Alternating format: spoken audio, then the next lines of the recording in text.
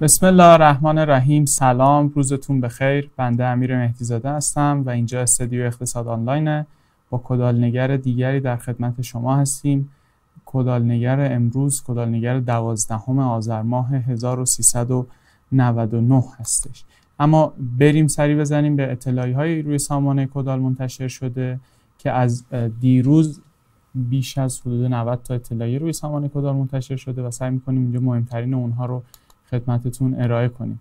اما بانک سامان توی اطلاعی که منتشر کرده یه مزایده برگزار کرده بود که نتیجه اون رو اعلام کرده و مزایده که قرار بود املاکی رو به ارزش پایه چیزی حدود 57 میلیارد تومن به فروش برسونه رو الان تونسته 65 میلیارد تومن تو مزایده به فروش برسونه که 14 درصد بیشتر از مبلغ پایش بوده.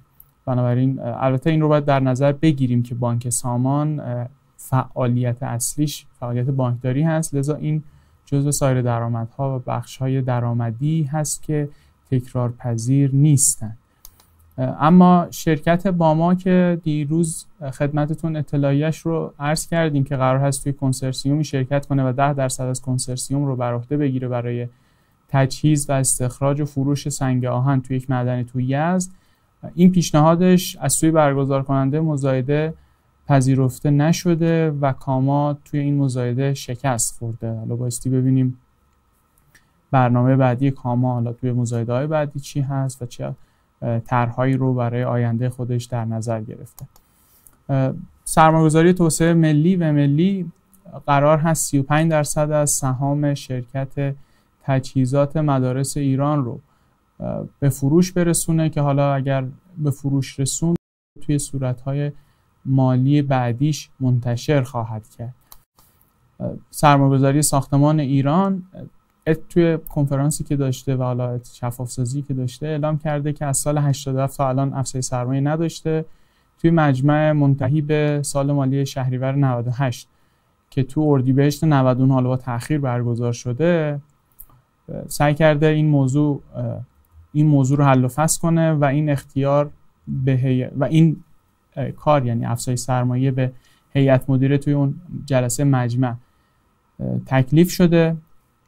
حالا توی صحبتی که داشته توی این قضیه این بوده که حالا از سمت حسابرس و بحث نتیجه اظهار نظر کارشناسی عقب افتاده و اونها کار رو عقب انداختن. اما اون چیزی که اعلام کرده طبق آخرین اطلاعاتی که داشته گفته که تا یک ماه آینده نتیجه کارشناسی این افزایش سرمایه اعلام خواهد شد و اون رو منتشر خواهد کرد. و انجام افزایش سرمایه رو برای این هست که برخی از پروژه در دست اقدامش رو جلو ببره و حتی تو سرمایهش توی شرکت های زیر مجموعش رو بتونه انجام بده. اما درصد و محل افزایش سرمایه رو اعلام کرده که به تصمیمات بعدی هیئت مدیره مربوط میشه و الان نمی‌تونه در مورد اینها اظهار نظر خاصی داشته باشه. اما فولاد امیرکبیر کاشان یا همون فجر در مورد اون شیوه نامه ساماندهی ارز و تقاضای زنجیره فولاد همون مصوبه ای که آقای نهاوندیان اعلام کرد و بحث بحثی در مورد شد و فولاد منفی شد بعدش و اتفاقات دیگه ای که در این مورد افتاد و برخی هم شفاف سازی در این مورد داشتن. فجر اعلام کرده که این مصوبه باعث میشه قیمت ورق گرم کاهش پیدا کنه و محصول قیمت محصول گالوانیزه این شرکت هم کاهش پیدا می‌کنه. کما که روی فولاد همچنین اثری داشت و قیمت محصولاتش رو کاهش میده. اما اعلام کرده فجر چون توی دستور چون این دستورالعمل هنوز ابلاغ نشده به صورت رسمی و رسما قرار نیست این دستور عمل هنوز اجرا بشه.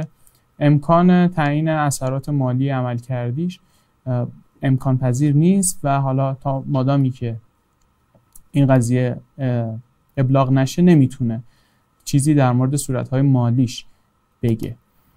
اما قالبر یا همون لبنیات کالبر یک شرکت زیر مجموعش اطلاعاتی داده شرکت آرپی نصر خمین اعلام کرده که توی این شرکت تو شیش ماهه اول سال جاری سوداوری خیلی خوبی داشته.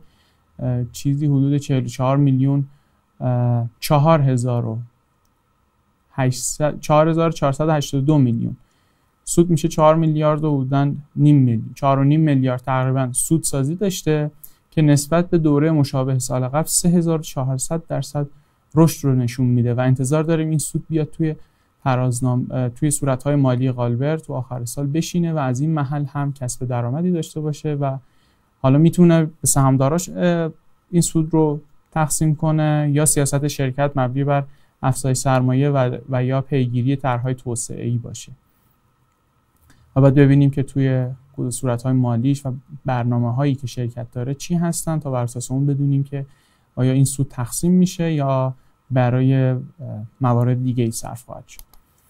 اما تولید فیبر ایران یه توی مزایده شرکت کرده و توی اون مزایده که سمت مقابلش سازمان جنگل ها و آبخیزداری هستن فروش یک نوع چوب گرد با پوست تو استان گیلان هست که حالا برای کارهای خودش قرار انجام بده و نتیجهش رو هم اعلام نکرده که کی این مزایده مشخص میشه که وضعیتش چگونه هست.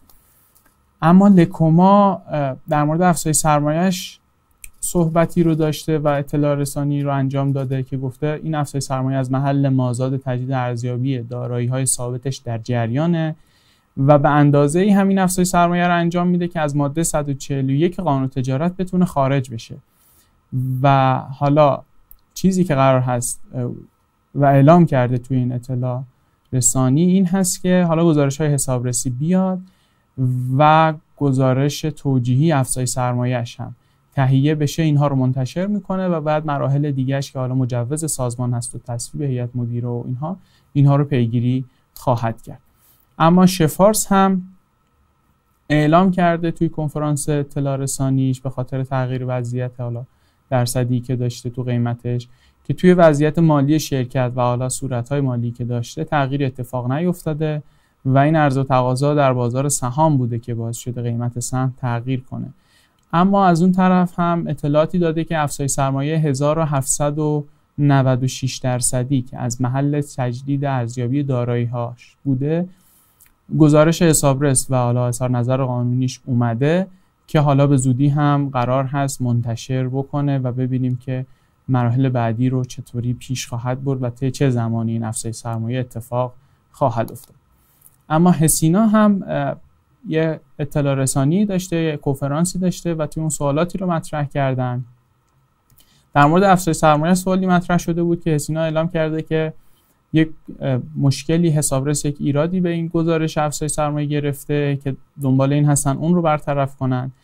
اما هسینا یکی از سهامدارای درصدی بپیونده و اعلام و حالا توی سوالی که ازش پرسیدن هم در مورد عرضه به پیوند بوده اعلام کرده که برنامه برای عرضه بیشتر به پیوند نداره و اون چیزی هم که عرضه کرده به خاطر شناوری سهم بوده. چون حالا شرایط نقدینگی شرکت و حالا هلدینگ هم مثبت هست برنامه برای عرضه بیشتر به پیوند نداره و در انتها حالا نکته مهمی که به نظر ما رسید توی کدال نگر از این کنفرانس خدمت شما بگیم. این هست که دو پروژه دو منظوره پروژه دو منظوره مخازن نفتیش که قرار بوده پیگیری کنه و انجام بده تو مراحل پایانی و بحثای تکمیل نهاییش هست که احتمالا چند وقت دیگه به بهره برداری هم خواهد رسید. اما گروه بهمن با همون نماد خ بهمن تو حالا کنفرانسی که داشته اعلام کرده که فاز اول شرکت توسعه قوای محرکه تیوان تا پایان سال جاری یعنی 1399 به بهره برداری می‌رسه. فاز دومش هم یک سال دیگه 1400 به بهره برداری می‌رسه که حالا بحث تولید موتور و خودروهای یورو 4 و یورو 5 رو در دستور کار اون شرکت قرار هست قرار بگیره. و از سمت دیگه هم اعلام کرده که کارهای کارشناسی افزایش سرمایه در حال رسیدگی هستن. پس انتظار داریم تا چند وقت آتی هم خبهمن افزایش سرمایه ای رو داشته باشه. اما تامین سرمایه دماوند آخرین نمادی هست که بهش می‌پردازیم.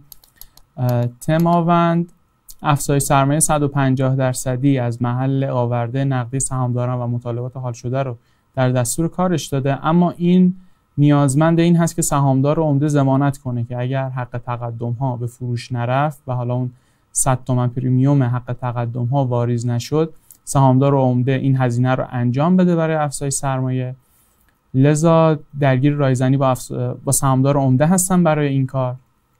دو تا نکته دیگه هم داره این که دو صندوق درآمد ثابت رو درخواستش رو دادن به سازمان که حالا سازمان با یکیشون موافقت کرده اما دیگری مجوز نگرفته و حالا هر دوتا هم این حالا اون یکی که مجوز گرفته داره کاراش جلوتر میره این یکی هم که حالا مجوز نگرفته هم پیگیر این هستن که مجوزش رو سازمان صادر کنه تا تماوند هم دو تا صندوق درآمد ثابت بتونه داشته باشه. این بود اون چیزی که از کدالنگر امروز می‌خواستیم خدمت شما عرضه کنیم.